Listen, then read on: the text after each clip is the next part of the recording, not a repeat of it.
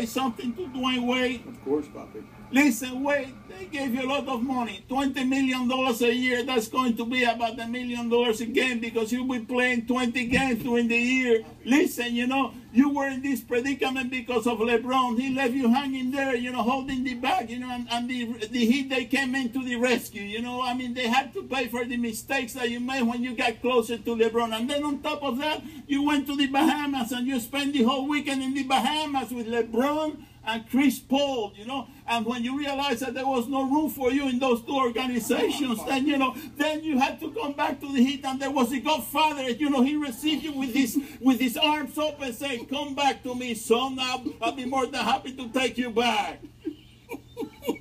All right. Papi has spoken. there it is again. His ego is out of control, man.